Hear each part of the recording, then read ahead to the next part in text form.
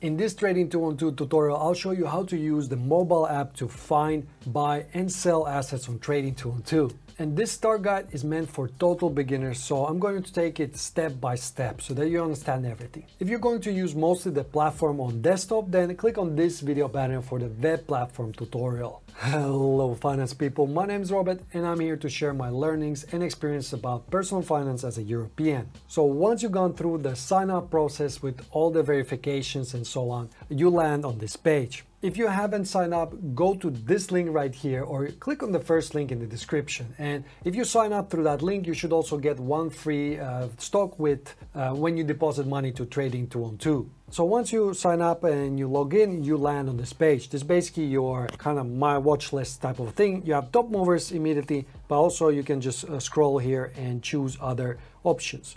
Now you're not going to spend too much time here, maybe in the watch list, but first of all, I just want to show you a few uh, things. If I tap on the top left corner here, and then you see you have two uh, account types. You have the invest and the CFD. And then if you're in the UK, you see third one, which is ISA. And uh, basically invest and ISA are exactly the same one, but uh, the ISA one is more beneficial for you if you're in UK. Uh, it's, it is individual savings account is a tax efficient savings or investment account available for the UK residents. Uh, basically, it exempts you from paying capital gains and dividend taxes on your investment. So if you're in UK, check out ISA. Uh, I would use that one if you're starting out. But also check what you need for ISA because you cannot, if you already have an ISA account somewhere else, uh, you cannot do it on Trading 212. So you need to uh, look into it a little bit, but definitely worth it. Then the biggest difference between Invest and CFD is just simply that in Invest, you actually own the asset Whereas with CFDs, you just own a contract to that asset. So the benefit of CFDs is that you have more options. You have commodities, you have Forex also, and you're able to use leverage. You're able to borrow money from trading 212 and use that for your investments. So if your investment goes, uh, if the investment goes higher up, for example, a stock, that means you're gonna um, gain more money. But also, if it goes down, you're gonna lose more money. So you gotta be really careful with uh, when leveraging. And another thing you can do in CFD is also you can short a stock. So that means uh, you're betting that the stock will go down in price instead of up. So if it goes down, you make money. So for this tutorial, I'm gonna use the invest. Uh, you also have the play account. So let me close this one. Trading on 212 also comes with a play account, which means basically it's a fake money. So to see that, you can come and tap on the menu, uh, hamburger menu here at the top right bottom and it is somewhere here. You have here at the bottom, switch to practice. If you press on that, then everything you do is, is fake. You're not actually owning the assets. It's just fake money, but it acts uh, as a, a, playground. This just enables you to play around and see if you like this platform. So first of all, what we need to do is get you a free uh, share. So if you tap on this get free shares, you'll notice that you can invite friends and that way you get some free shares. Uh, but also, if you go back and scroll down, where is it? Use a promo code. So if you use this promo code, I'll leave it in the description. It should be somewhere at the top of the video description. If you enter it here and you use it, you're gonna get a one free share if you deposit money to trade Trading 212. Uh, and that way you can start already investing with that one, uh, one share, but still it's something, right? So let's go back and the next thing you want to do when you're starting out, you probably want to deposit some money. And, it's pretty easy on Trading 212. So let's tap on deposit funds. And here you can see that you have a few different options. The bank transfer is always free, uh, but you have, if you want starting out, you have some options. You have up until 2,000 euros you don't have any fees with uh, your credit card, Apple Pay, or uh, in this case, I'm in Netherlands, so I see iDEAL. You don't get any fees, but above 2000, you're gonna get this 0.7% uh, fee, which makes no sense to take. I would just use bank transfer if that's some if you need to deposit some money. Uh, otherwise, uh, when starting out, you can try it out with the other uh, other payment methods. So I would just go from here and add funds. During editing, I noticed that I didn't explain how to do the bank transfer because there's a few steps that you need to do. So let me show you.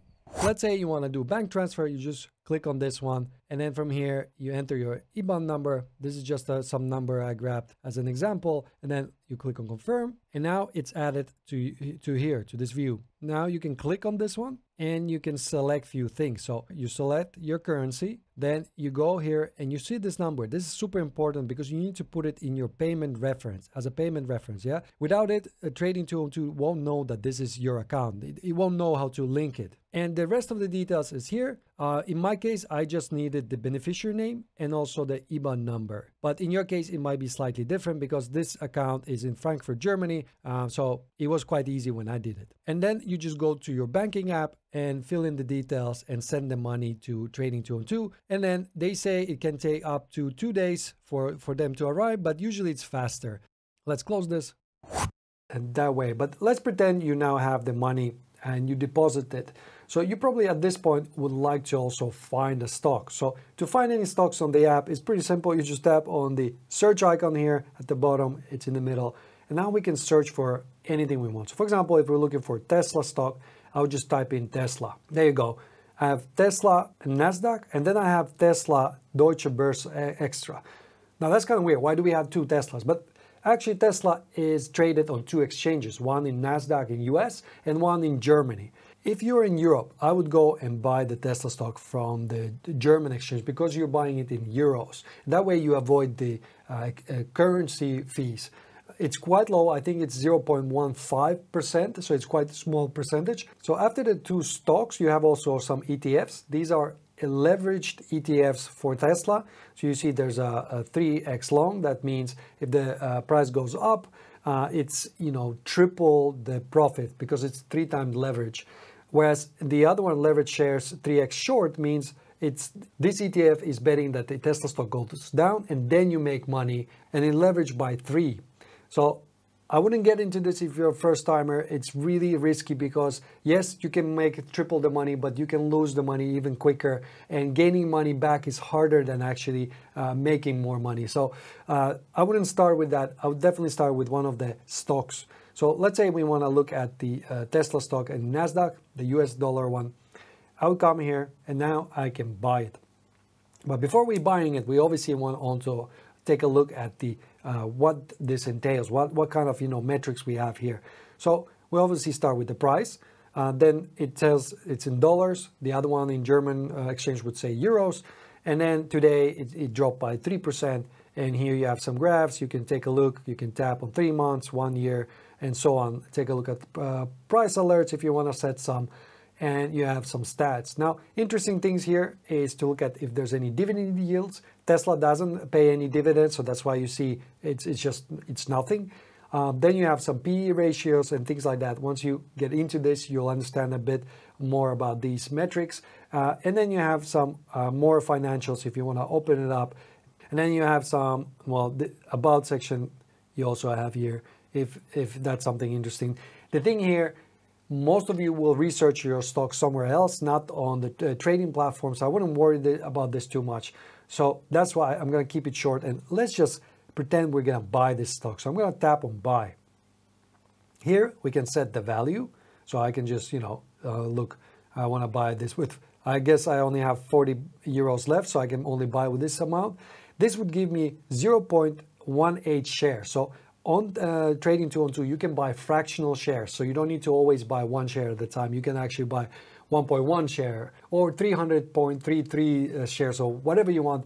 You can divide it that way. So if you only have a little amount to invest, you can still invest in, you know, in Tesla without paying the, uh, the whole $240. Now, in some cases, you want to also just change the value to number of shares. In this case, I can only buy not even one share because I, I just don't have anything on my account right now. But you can see from here, it works the same way. Let's go back to value. Here, if you tap on these weird dots, you can also just go and type it in how much you want to buy. Let's say 29 euros, that's what you can buy. Then you can see here on the left, you have the euro sign and it's just telling you to, you can deposit money from here. Now, I could just go and review this order, but I want to show you a few things here. So here at the top, you have market, limit, stop, and stop limit. These are types of orders you can make. So market just buys it at the market price at that moment. So it, it, doesn't it doesn't look at anything else. But for example, limit, you can say, hey, well, actually, I want to buy let's say 0.1 shares, and I want to pay at maximum, uh, I'm going to pay price, let's say if it dips to 230, then I want to buy this stock. Yeah, so if it dips to 230, I want to buy this stock. So only at that point it will execute the, the, the order. So if you want to wait for it to drop to a certain amount, you could set it from here. And not only that, but you could also set expiration from here. Never, maybe you're just waiting that it will drop today to a certain level. Then you can say end of day, and after this, it will just cancel. So if it doesn't, uh, if that price doesn't drop enough in during the same day, then it will just cancel the order. But most cases, you'll just say never. So let's say this is what we want to do. We can now tap on review order and from here, uh, you just review what you're, you're doing here. And hey, I forgot to mention that you can see the fees here. You have the commission. In this case, it's free. And also I got some FX fees just because I'm buying an asset in dollars, although I have only euros on my account. And I'm gonna just send buy order. And if I scroll down, you see the pending orders here and I have 0.1 shares here and you know, it's waiting for that 230 to come and then it can execute the order. But let's go back Let's say I'm gonna just close this search bar and I'm gonna go to my home. From here, I'm gonna go to my portfolio. So that's the, uh, the icon here. In here you see that, hey, my I actually, let's say I want to get rid of my uh, Coinbase share. I only have one share, but what if I want to get rid of it? So I want to sell it. That's quite simple. You just come to an, you know to this order and you tap on sell. And now I could say, hey, let's do this in market order, or again limit. So if it goes to certain price, then just sell it. Let's say I wanted to I want to wait for it to go as a high up as 160, then execute the order and then sell my stock. That's how easy it would be. So let's review the order, take a look. Yeah, no commissions, great. You see the FX fee, they're gonna charge me 22 cents for this order. So it's good to take a look at these. Uh, to notice that how much you're paying in terms of conversion fees. So just keeping an eye on this if you're buying a lot, how much you're actually paying in conversion fees, or would it be better to buy something in your in your currencies like uh, we saw the Tesla that is sold on European stock exchange. So let's send sell order. Okay, now we know how to buy and sell uh, stock here in Trading 212, but let's take a look at some quite unique feature that uh, they offer, which is pies. So from here, I'm going to tap on the two dudes, uh, that icon, and then I'm gonna tap on pies. So you see here terms and conditions, I confirm, uh, and the pies are quite unique to Trading 212. They're basically just baskets of stocks and some other people on trading 212 have created these so it doesn't mean they're professionals or they're you know curated by somebody but they're created so for example here we have uh, one pie that is almost daily in dividends. So if you want to get everyday uh, dividend payments, you could invest into this pie. So if I tap on it, you can see what they are investing in. So the, all of these are the, the stocks that are part of this pie. And you can see there's a lot of them and all of them are about 2%, uh, investment 2%. So you can see that you're going to get certain amount of dividends every time. But if you have some your own ideas. You can also create your own uh, pies here. So if you want to create your own pie, then you have to go back to your portfolio. So you, you tap on that uh, pie chart there. On the top, you have investments and pies. If you tap on pies, you can create a pie. I already created a test pie, so let's create another one. I'm going to tap on the plus here, and now I can add instruments to it. So let's say, I don't know, I want to create electric vehicle company. So I'm going to look for Tesla. Let's add it to pie. Then let's look for Rivian. So I'm gonna add it. To add these, actually, here at the bottom, you need to tap on this arrow, otherwise it doesn't add them. So now you can see I have two pies there, and I can adjust how, my, how many percentages I add. Let's say I wanna mostly Tesla, let's say 70%, and then the Rivian could be the, the rest, so let's say 30, like this. So if you're happy with this, you set up your own pies, uh, and you tap on next. From here you can uh, choose how you invest, so you can set auto invest or manual. So auto invest just you need to deposit money automatically to to trading 212. Later on, really I, I recommend using this so that you can automate some of the investing. But for now, let's choose manually. And then if you tap on next, we can give this a name. Uh, e-vehicles, create a pie and there you go, my pie is now live. Now there's no money in it, so I would need to come here and invest into it so I can add money to it. Right now I only have three euros left, so I could now invest this and confirm and buy, and it will buy that little tiny amount of uh, Tesla and Rivian, and it will just invest uh, proportionally into that. So you see, they're done. I have three euros worth of stocks now in this pie. So quite unique asset, especially later on once you want to build your own kind of uh, portfolios. You'll also automatically kind of try to adjust the amounts. So if Tesla starts growing a lot, it will start adjusting so that Rivian doesn't uh, fall behind a lot. Now, I've been investing for the last six years, and there are a few mistakes that I really wish I hadn't made. Without them, uh, my portfolio would have been probably double the size. That's why I created this video right here, so you can avoid losing time and money by making the same mistakes I did.